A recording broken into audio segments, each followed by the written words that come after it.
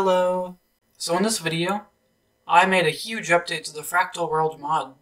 I added a whole bunch of new presets, and I've even started work on a custom fractal generator, where you can simply type in a math equation, and it'll turn it into a fractal. So to start this off, I would like to show off a whole bunch of new fractal presets I made.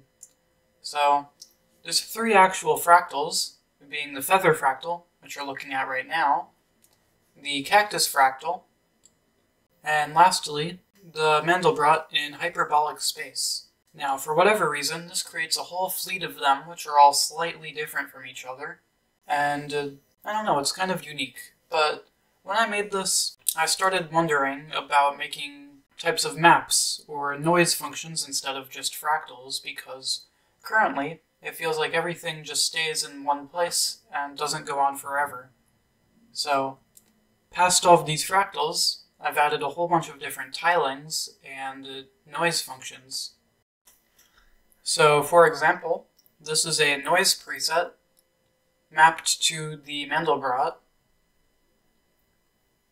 And same thing, but with the burning ship here.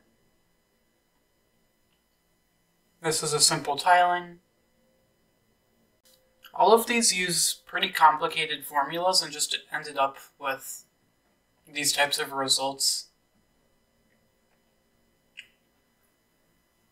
Because a lot of them aren't really doing what they're supposed to do, but I kind of thought it was cool, so I kept a lot of them. So, again, just more simple tiling. This one's mostly void. This one was a mistake with the log function, but I thought it looked awesome, so here it is. These are simple sine waves.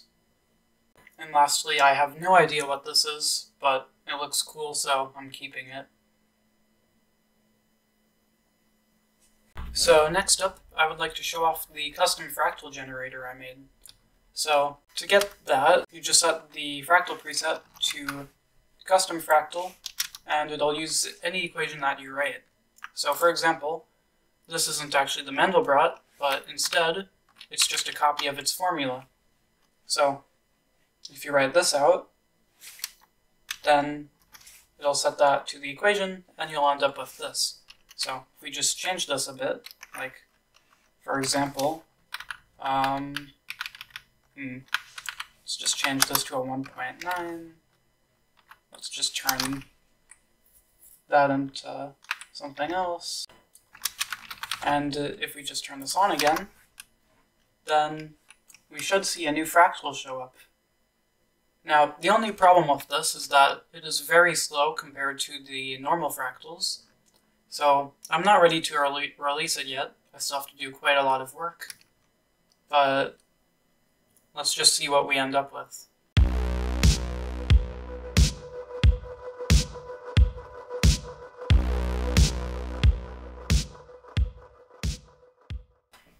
And just like that, just from typing in some random numbers, being that, in case you're curious, we've ended up with this. A brand new, completely random fractal. And this should work with all of these trigonomic functions, although I still have a lot of testing to do. And by the way, this was made at like 5 a.m. I don't remember how I made it, but this is the line carrying the whole equation thing. I cannot explain to you what this is, other than like turning a string into uh, numbers and stuff. But like, I don't know, it, it's just quite interesting. This is the worst line of code I've ever written. Anyway, again, here's another quick example. Let's just use sine by putting it in like that. As long as you use the parentheses correctly, it should take whatever the sine of this is and just use it. So let's also just change this to, I don't know, 1.85.